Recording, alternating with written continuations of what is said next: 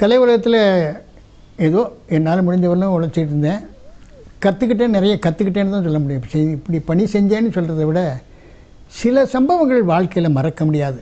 அப்படி மறக்க முடியாத சம்பவம்ல பொன்மன செம்மல் புரட்சி நேடி எம்ஜிஆர் அவர்களிடம் நடந்த சில சம்பவங்களை என் வாழ்க்கையால் மறக்கவே முடியாது. அவ்வளோ பெரிய மேதை எம்ஜிஆரை பார்ப்போமா அப்படின்னு சென்னைக்கு வந்த காலத்தில் தவமாக தவம் கொடுத்த எனக்கு ஒரு அருமையான வாய்ப்பு வந்தது. இயற்கையிலே தானாக வந்து அமைஞ்சது. எப்படின்னா இந்த நான் சொல்லும் ரகசியம் படத்தில் சிவாஜி கூட நான் ஹீரோவாக பண்ணும்போது எனக்கு எம்என் ராஜ் ஜோடியாக நடித்த காரணத்தினால எம்என் ராஜத்தை அவர் ஒரு நாடகத்தில் போடுறதுக்கு அவர்கிட்ட பேசியிருக்காரு முடிஞ்சு போச்சு. ஐயா காமராஜர் அவர்கள் சிஎம் ஆகிருக்கிற பீரியட் அது. அப்போ எம்ஜிஆர் நடிகர் சங்கத்தில் தலைவராக இருந்தார். சுதந்திரத்திற்காக பாடுபட்ட தியாகிகளை பற்றி பெருமையாக நம்ம ஒரு கலை நிகழ்ச்சி நடத்தினோம் அந்த மகாநாட்டில் அப்படின்னு காமராஜர் ஐயா நினச்சிக்கிட்டு இருக்கும்போது இது இந்த கலை நிகழ்ச்சியை எம்ஜிஆர் கிட்ட கொடுத்தா நல்லா பண்ணுவார் அப்படின்னுட்டு எம்ஜிஆர் கிட்ட சொல்கிறார் இப்படி மிஸ் ராமச்சந்திரன் இந்த மாதிரி ஒரு விழா நடத்த போகிறோம் அந்த கலை நிகழ்ச்சி ஒரு நாலு அரை மணி நேரம் நாடகம் நீங்கள் தான் போடணும் அப்படின்னு. ஐயோ நானே செலவழித்து நானே பண்ணுறேங்க ஐயா பெரிய பாக்கியம் அப்படின்ட்டாரு. சரி பண்ணுங்க அப்படின்னு சொல்லிட்டு. சரின்ட்டு இவர் எம்ஜிஆர் தயார் பண்ணுறார் யார் யார்? முதல்ல செக்கெழுத்து சிதம்பரனாராக எம்கே முஸ்தபான்னு அவருடைய பாட்டை நடிக்கிற போட்டுறாரு. அடுத்தது முத்து வடிவேன்னு ஒரு சப்ஜெக்ட்டு அந்த அம்மாவும் சுதந்திரக்கு பாடுபட்ட அம்மா. அது ஜி சகுந்தலாவுக்கு அது கொடுத்துட்டாரு. திருப்பூர் குமரனை மெ மெயினாக காமிக்கணும் அப்படின்னு எம்ஜிஆருக்கு ஒரு நினைப்பு வந்து ஏ சமுத்துன்னு ஒரு அழகான ரைட்டர் அவர்கிட்ட திருப்பூர் குமரனை பற்றி ஒரு அரை மணி நேரத்துக்கு ஒரு ஸ்கிரிப்ட் கொடுங்கன்னு உடனே கொடுத்துட்டாங்க. இந்த திருப்பூர் குமரன் வேஷத்தை ஒரு ஸ்டார் நடித்தா நல்லா இருக்குமே அப்படின்ட்டு எஸ்எஸ்ஆர்ட்ட போய் கேட்டிருக்காரு. ராஜு நீ தான் திருப்பூர் குமரனாக நடிக்கணும். ஐயய்யா நான் கொடியெல்லாம் பிடிக்க மாட்டேனே அதெல்லாம் நான் கட்சியில் இருக்கேன் அப்படின்னு. அதனால என்னப்பா நடிப்பு தானேப்பா அப்படின்னு தலைவர் சொல்லியும் கேட்கல. சரி யாராவது ஒரு நாடக கம்பெனியில் நல்ல பையனாக இருந்தால் பாருங்கப்பா அப்படின்னு சின்னவர் சொன்னோடனே அவங்க அப்படியே தேடிக்கிட்டு இருக்காங்க. இப்போ யாரோ நம்ம பேரில் ஓட்டு போட்டாங்க போட்டிருக்கு ஏபிஎன் சிஷியன் தசரதன் ஒரு பையன். சரி அவனை கூட்டிகிட்டு வாங்கப்பான்னு சொல்லிட்டார். இதுக்கு இடையில் சிவாஜி வந்து நான் கட்டபொம்மனா நானே செலவழித்து நானே நடிச்சுக்கிறேனே அப்படின்ட்டார் சரி நீ கட்டபொம்மனா நடிப்பா பிரமாதம் அப்படின்ட்டு ஆனால் முதல் ப்ரோக்ராம் என்ன தானே அப்படின்ட்டார். ஓகே அப்படின்னு. சரின்னு போட்டாங்க. தயார் பண்ணார் நான் என்னை கூப்பிட்டாங்க போனேன். போனவுடனே எம்ஜிஆர் காலில் சாஸ்தாங்கமாக விழுந்தேன். என்னை பார்த்தோன்னே சொன்னார் கரெக்டாக இருப்பான் திருப்பூர் குமரனுக்கு ம் வெரி குட் ஆண்டவனே உனக்கு ஜோடியே உங்கள் படத்தில் நடித்த இம்மன் ராஜன் தான் உனக்கு ஜோடியாக போட்டிருக்கேன் அப்படின்னு. அப்படிங்களாண்ணே ரொம்ப சந்தோஷம். சரி சரி பாடம் பண்ணி நடிங்க அப்படி. ஒரு மாதம் ஒத்திக்கு என்ன அது என்ன இது என்ன பிரியாணி என்ன சாப்பாடு என்ன கார் என்ன கூட்டிகிட்டு வர்றது கார் தான் கொண்டு போய் விடுறது கார் தான். என்ன கலைஞர்களுக்கு என்ன ஒரு சக நடிகர்களுக்கு என்ன மரியாதை அவர்? மறக்கவே முடியாது. இது எதுக்கு சொல்கிறேன்னா அது ஒரு வாழ்க்கையில் அது ஒரு பெரிய பாக்கியமாக கருதுறேன். பின்னாடி அவரோட படம் சொல்கிறேன் அது அப்புறம் சொல்கிறேன் போட்டு அன்னைக்கு மகாநாடு நடக்குது. ஒரே கூட்டம் பயங்கரமான சத்தம். சத்தமே நிற்கலை அண்ணே நான் முதல்ல என்னுடைய ப்ரோக்ராம் பண்ணிக்கிறேன்ட்டார் சிவாஜி. வேண்டாம் தம்பி கடைசியில் வச்சுக்கலாம். பாருங்கள் ஜனங்கள் இன்னும் கத்திக்கிட்டு இருக்காங்க. சத்தம் கேட்டுச்சுன்னா ப்ரோக்ராம் நல்லா இருக்காது. சொன்ன கேளு கணேஷ் அப்படின்னு. இல்லைண்ணே நான் பண்ணுறேன் பாருங்கள் நம்ம போனவொடனே அடங்கிடும்ண்ணே எம்ஜிஆர் தயாரிப்பு சிவாஜி நடிக்கிறாங்கிறதுனால தான் கத்துறாங்க. வேற ஒன்றும் இல்லை. நான் பண்ணுறேன் நான் போய் பண்ணுறேன்னு பண்ணார். முதல் சீன் போனார். ரெண்டாவது சீன் போனார். மூணாவது சீனும் போனார். அடங்கலை கூட்டம். கற்று கற்றுன்னு கத்திட்டு இருக்கேன். வெளியில் வந்து விக்கே எடுத்துட்டார். போகிறேன் இதுக்கு மேலே என்னால் போக முடியாதுன்னு கேன்சல் பண்ணிட்டார். இதுக்கு தான் தம்பி நான் முன்னாடியே சொன்னேன். சரி விடுங்க. வேறு வழி இல்லை. அடுத்த நீங்கள் போங்க அடுத்த நீங்கள் போங்க. தம்பி தசரதன் உங்களது லாஸ்ட்டில் வச்சுக்கலாம். ஏஎஸ் முத்துன்னு ஒரு அருமையான ரைட்டர் எழுதியிருக்காரு காமராஜரையா முன்னாடி உட்காந்துருக்காரு சி. சுப்பிரமணியம் அவங்க இவங்க எல்லாம் உட்காந்துருக்காங்க முன்னாடி. திருப்பூர் குமரன் கல்யாணம் நடக்குது. வந்தே மாதரம்னு ஒரு குரல் கேட்டவனே எனக்கு பொறுக்கலை எனக்கு. உடனே நான் விட்டு விட்டு வெளியே போய் எங்கே போகிற குமரன்? இல்லை எனக்கு சங்கநாதம் ஒழிக்கிறது. நான் சென்று அது கலந்து கொள்ள வேணும் அப்படிங்கிறாங்க. சொன்னபடியும் கேட்காம போய் நான் போய் கூட்டத்தில் போனவனே ஆஹா குமரனே வந்து நான் கொடி அவர்கிட்ட கூட அவன் வழி நடத்துவான் அப்படின்னு தலைவர் சொன்னவொடனே வந்தே மாதரம்னு போயிட்டு திருவிழா ரோட்டு சீனில் போகும்போது இன்ஸ்பெக்டர்லாம் வந்து தடுக்கிறாங்க. ஒருத்தருக்கு ஒருத்தர் வாதம் நடக்குது. ரொம்ப நேரம் வாதம் நடக்கும். எனக்கு அந்த அவருக்கு வாதம் நடக்கும்போது அதில் சொல்லுவார். அந்த இன்ஸ்பெக்டராக நடித்தவர் குமரா கொடியை விடுகிறாயா உன் உயிரை விடுகிறாயா? இரண்டுமே எனக்கு ஒன்று தான் மண்டையே உடைந்து மண்ணிலே சாய்ந்தாலும் பட்டொளி வீச பறக்கும் இந்த மணிக்கொடி மட்டும் என் பிடிவிட்டு போகாது. அப்படின்னு சொன்னால் ஓங்கி அடிப்பான். லத்தியில் அடி அன்னியன் ஆட்சிக்கு சாபு மணி அடி. மறுபடியும் ஓங்கி அடிப்பார். அடி வீரனின் வீழ்ச்சிக்கு வீரம் விளக்கமிட்டு வந்தே மாதிரி என்ன சொன்னால் இப்படின்னு ஓங்கி மண்டை பட்டார்னு அடித்தவன வந்தே மாதிரம்னு இப்படி இப்படி அமுக்கணும் பாருங்க. அப்படியே அதுலேருந்து ஒரு நாலஞ்சு சொட்டு ரத்தம் போய் ஐயா காமராஜர் சட்டை மேலே ரெண்டு துளி சி. சுப்பிரமணியன் அவர் பக்தவச்சல் மேலே ரெண்டு ரெண்டு நிறுத்துங்கிறேன் நாடகத்தைங்கிறேன் மண்டையை உடச்சி போட்டாங்கிறேன். அப்படின்னு எந்திரிச்சிட்டார் ஐயா. வந்து ஸ்டேஜில் ஏறி வந்துட்டார்.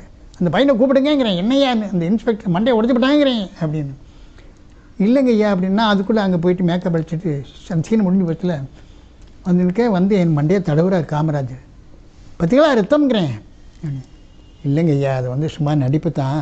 ஒரு முட்டையை உடச்சி ஒரு ஓட்டையை போட்டு அதை குடிச்சிட்டு அதுக்குள்ளே தேங்காய் எண்ணெய், சேப்பு பவுடரும் போட்டு அமுக்கி வச்சுருந்தேன். ஓங்கி அமுக்கிறதுல பட்டுடுச்சு. என்னை மன்னிச்சிருங்க ஐயா அப்படின்னு. காமராஜர் என்னை கட்டி பிடிச்சிக்கிட்டு நல்ல தொழில் நல்ல தொழில் ரொம்ப நல்லா பண்ணிங்க. அப்படின்னு நான் அதை மறக்கவே முடியாது. அன்றைக்கி நாடகம் முடிஞ்சது எல்லாருக்கும் அனுப்புகிறார் எம்ஜிஆர். அப்போல்லாம் ஒரு நாடகத்தில் நடித்தா இருபத்தஞ்சி ரூபா சம்பளம் கொடுப்பாங்க. எப்படியும் இன்றைக்கி எம்ஜிஆர் ஐம்பது ரூபா கொடுப்பாரு அப்படின்னு ஒரு கற்பனையில் இருக்கேன் நான். ஏன்னா அப்போ ஐம்பது பெருசு. ஐம்பது ரூபா இருந்தால் அந்த காலத்தில் மிகப்பெரிய சம்பளம். எப்படியும் இன்றைக்கி கிடைக்கும் அப்படின்னு நினச்சிட்டு இருக்கும்போது எல்லோரும் போனதுக்கப்புறம் தனியாக வந்தார் ஸ்டேஜில். வந்தவனே. வெரி குட் ம். சபாஸ் அப்படின்னு கையை கொடுன்னு கையை அப்படி அமுக்குனார். கைக்குள்ளே நர நரங்குது. ஒரு சின்ன பேப்பர் சத்தம் தெரியுது. எப்படியும் நூறுரூவா இருக்கும் அப்படின்னு அந்த பக்கம் போனதுக்கப்புறம் பிரித்து பார்த்துறேன். ஐயாயிரம் ரூபாய் இருந்தது. ஃபைவ் தௌசண்ட் அதில் திருவிளையாடலில் ஒரு அற்புதமான சீனில் தர்மியா வந்து ஏழை புலவையை வரவளை நாகேஷ். நானும் நாகேஷ் ரொம்ப டியரஸ்ட் ஃப்ரெண்டு நானும் அவனும் போடா வடன்னு தான் பேசிக்குவேன் இந்த மாதிரி பாட்டில் பிழை இருக்குது பரிசு கிடையாதுன்னு சொல்லி ஏபிஎனே நற்கிரியாரா நடிப்பார் அந்த படத்தில். மன்னா நல்ல பாட்டு கொங்குதேர் வாழ்க்கை அஞ்சரை தும்பி காமன் செப்ட் அது என்ன பாட்டில் பிழை இருக்குங்கிறார் இவர் அப்படின்னு. உங்கள் பாட்டில் பிழையிலே செய்யுளில் தான் பிழை இருக்கிறது அப்படின்னு சொல்லி நாலஞ்சு டேக் ஆச்சு அஞ்சாவது டேக் எடுக்க போகும்போது நான் கூப்பிட்டேன் டே மாப்பிள்ளை எங்கள் வாடா அப்படி என்ன? அப்படி எங்கள் வாத்தியார் சொல்கிறார்ல பாட்டில் பிழை இருக்குன்னு. எவ்வளோ பிழை இருக்குது குறைச்சிக்கிட்டு மிச்ச காசு கொடுங்க ஐயான்னு கேள்றா அப்படின்னு பாருங்கள் அந்த படத்தில் அந்த வசனம் நின்று போச்சு. ஒரு மீட்டிங்கில் பாலச்சந்திரலாம் உட்காந்துக்கும் நடிகர் சங்கத்தில் மீட்டிங் போடுறாங்க பேசுகிறாங்க அடுத்தபடியாக நாகேஷ் பேசுவார் அப்படின்னு வந்து பேசுகிறான் அடியே நாகேஷ் பேசுகிறேன் இன்றைக்கி இந்த மைக்கு முன்னாடி நின்று தரிமையாக நின்று பேசுகிறேன்னா அது ஏபிஎனுக்கு தான் அந்த பெருமை. எனக்கு பிடித்த படம் தரிமி தான் அதிலும் எவ்வளோ பிள்ளை இருக்கோ குறைச்சிக்கிட்டு மிச்ச காசை கொடுறாங்கன்னு சொன்னான் பாரு ஒரு டயலாக் இருந்தது பாருங்கள் அந்த இருக்கான் பாரு. டே தசரதா எந்திரிச்சு இவன் சொல்லி கொடுத்த டயலாக் அப்படின்னு அந்த கூட்டத்தில் என்னை எழுப்பி அத்தனை பேர் முன்னாடி என்னை பாராட்டினா நாகேஷ். அதை மறக்க முடியாது. அது மாதிரி அந்த ஒரு படத்தினுடைய உதவி இயக்குனராக பணி இணை இயக்குனராக பணி செய்ததை பார்த்து தான் அடுத்த சபத சரஸ்வதி சபத்தில் டான்னு என் பேர் மேலே. எனக்கு சீனியர்லாம் எனக்கு கீழே வந்துட்டாங்க. இது வந்து ஆணவத்தில் பேசலை. உண்மையாக உழைச்சா தொழிலை கற்கணும்னு கற்றுக்கிட்டா ஒரே பேப்பரில் அத்தனை படத்தினுடைய சீனி என் பையில் இருக்கும். முப்பத்தி என்ன சீனி இதுவா ஐம்பது இதுவா தொண்ணூறு இதுவா இப்போ இதுவா. அதே மாதிரி சாங் பிக்சரைஸ் பண்ணும்போது நான் தான் விசில் வச்சுருப்பேன். என்ன பஞ்ச் போடணும் என்ன எந்த கட்டு எடுக்க போகிறாருன்னு பார்த்துருவேன் இது எடுத்தால் அடுத்தது இதுதான் எடுப்பார்னு அப்போவே கெஸ் பண்ணுவேன் கரெக்டாக இருக்கும். அந்த மாதிரி பண்ணி பண்ணி பண்ணி அத்தனை படத்தில் அவரோட எல்லா படத்துலையும் எனக்கு ரோல் உண்டு. அவர் தான் கந்தன் கரணியில் கிழமுருகனாக கொடுத்தாரு. ஏன்? சினிமாஸ்கோப் வாழ்க்கையில் முத முத சினிமாஸ்கோப்லேயே நடிக்க வச்சு ஒற்றன் கேரக்டர் மிக அருமையான ரோல் என்னோட நம்பியாரனே ஆர்எஸ் மனோகர் மனோரமா இவங்கெல்லாம் நடிக்கிற மாதிரி ஒற்றன் கேரக்டர் அப்படி எல்லா படத்துலையுமே எனக்கு அத்தனை படங்களிலும் நடிகனாகவும் இணை இயக்குனராகவும் ப பணி பணியை தந்து எனக்கு தொழிலை கற்றுக் கொடுத்த என் ஆசானை மறக்கவே முடியாது. அப்படி அவரோட அத்தனை படங்கள் வேலை செஞ்ச காரணத்தினால தான் இரண்டு மூன்று படங்கள் தனியாகவும் எடுக்கிற நிலைமைக்கு உருவானுச்சு. அதில் சொந்தமாக நான் ஒரு படமே எடுத்தேன். இதே ரோஜா என்று ஒரு அற்புதமான படமே எடுத்தேன். நண்பர்களால் ஏமாற்றப்பட்டு ஏமாந்து சினிமாவில் படம் எடுக்கிறது பெருசில்லை ஜெயிக்க கற்றுக்கணும் எப்படி ஜெயிச்சா ஜெயிக்கலாம் அப்படிங்கிறது. கொஞ்சம் மனசாட்சியை இப்படி தள்ளி வச்சுட்டு பண்ணணும். அது எனக்கு வரல. அப்படி நான் பண்ணியிருந்தால் இந்த வயசில் இப்படி உட்காந்து பேச முடியாது. இத்தனை பேரம்புட்டிகளோடு நிம்மதியாக வாழ்ந்திருக்க முடியாது. சாப்பிட்டா செமிக்குது படுத்தா தூங்குறோம்ல இதை விட என்ன கோடி வேணும் தேவையே இல்லை. அந்த மாதிரி வாழ்க்கை போய்கிட்டு இருக்கு. இக்காலத்து சினிமா எப்படி இருக்கு? முதல்ல பேசிக்காக எல்லா கதையும் வந்துருச்சு. வராத புதுக்கதை. அந்த புதுக்கதையில் மக்களுக்கு என்ன அறிவு சொல்ல வற்புறுத்தப்பட்ட ஒரு நல்ல விஷயங்கள்? தெரியாத. இப்போ நம்ம என்ன ஒரு பெரிய கிளைமேக்ஸ் எடுத்தாலும் பாரு இப்போ இதை எடுத்து அவர் அடிப்பார். அவருக்கு அப்புறம் அவன் வந்து இவனை காப்பாற்றுவான்னு ஆடியன்ஸே சொல்லுது. அந்த சொல்ல வைக்கக்கூடாது. அதனால் வித்தியாசமான முடிவுகளையும் உண்மை சம்பவங்களையும் அழகுபட சொன்னால்தான் ஜெயிக்கும். பல படங்கள் வெற்றி விழா காண்பதில்லையே ஏன்? இப்போ இருக்கிற நடிகர்களை பற்றி குறை சொல்லலை. அவர்களுடைய வேலை பளு. பல இடத்துல கால் சட்டி கொடுத்துட்டு சரி இன்றைக்கி ஷூட்டிங்காக போனால் போகிறோம் அப்படிங்கும்போது பட் இயக்குனர்களே என்ன சொல்கிறாங்கன்னா ஐயோ அவருடைய கால் சட்டி கிடச்சிருச்சு நம்ம எதையா போய் எடுத்து ஆகணுமே அப்படின்னு சொல்லிட்டு சாதாரணமாக பேசப்பட்ட காட்சிகளே அதே படமாக எடுக்கணும் திங்க் பண்ணி இது எடுத்தால் பின்னாடி என்ன எங்கே வந்து இடிக்கும் இது என்ன மாதிரி கொண்டுட்டு போனால் அது சுபப்பட இருக்கும் அப்படிங்கிறத பேச அவர்களுக்கு நேரம் இல்லையோ அல்லது அவர்களிடம் வேலை செய்கின்ற உதவியாளர்களுடைய ஹெல்ப் இல்லையோ இது வந்து கூட்டு முயற்சி சார். சினிமா என்பது நான் தான் சொன்னேன் இல்லையா? ஒரு இயக்குனரோடு உதவி இயக்குனர் வந்து குருபக்தியோட ஒன்று ரெண்டு தைரியமாக சொல்லலாம். அதை ஏற்றுக்க வேண்டியது டைரக்டருடைய பொறுப்பு. அந்த மாதிரி ஏற்றுக்கிட்டு பண்ண டைரக்டர்கள் இன்றைக்கி ஓஹோன்னு இருக்கிறாங்க. இவன் என்ன சொல்கிறது நம்ம என்ன கேட்குறதுங்கிறது அந்த எண்ணம் வந்தால் பல படங்கள் ஃபெயிலியர் ஆகத்தான் செய்யும். ஆனால் கூட்டு முயற்சி தான் இது. ஈவன் ஒரு ஒரு படப்பிடிப்பு நடக்க ஒரு கேமராமேன் அவுட் ஃபோக்கஸ் பண்ணாலே அவுட்டு பத்து நாள் நீங்கள் வெளியூரில் ஃபாரினில் ஷூட்டிங் எடுத்து வந்து அவர் சரியாக அவர் ஏன்னா அங்கே டெவலப் பண்ணி பார்க்க முடியாது. பட் இப்போ கம்ப்யூட்டரில் வந்துருச்சு அங்கேருந்து பார்த்துக்கிறீங்க மானிட்டரில் ஃபிலிம் எடுக்கிற காலத்தில் பத்து நாள் ஷூட்டிங்கு ஒன்றுமே எக்ஸ்போஸ் ஆகாமல் இந்தியாவுக்கு வந்த படங்கள் எல்லாம் சரித்திரம் இருக்குது என்ன ஷட்டரை ஓப்பன் பண்ணணுமே? அதனால் சினிமா என்பது கூட்டு முயற்சி. தனக்குத்தான் எல்லாம் தெரியும் என்று எந்த இயக்குனரும் நினைத்தால் அது சரி வராது. அனைவரிடம் கலந்து நீங்களும் அப்படித்தானே வந்தீங்க? நம்மளாம் அப்படித்தானே வர்றோம்? குருநாதருடைய ஆசீர்வாதத்தில் அவங்கள்ட்ட இருந்து கற்றுக்கிட்டது நம்ம இம்ப்ரூவ் பண்ணணும். அதனால் குறை வந்து நம்மக்கிட்ட தான் இருக்கக்கூடிய மக்கள்கிட்ட இல்லை. இப்போ எப்படி சில படங்களை ஓடுது மஞ்சப்பை எடுத்துக்கோங்க என்ன? காரணம் என்ன?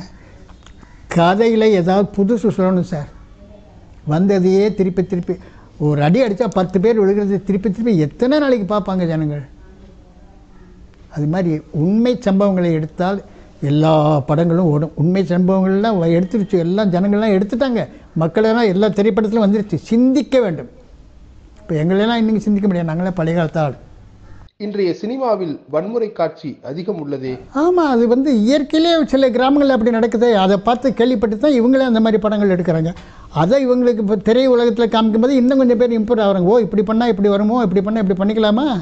சரி சரி அப்படின்னு திரைப்படத்தை பார்த்து கெட்ட திரைப்படத்தை பார்த்து கெடுகிறவர்களும் இருக்கிறார்கள்.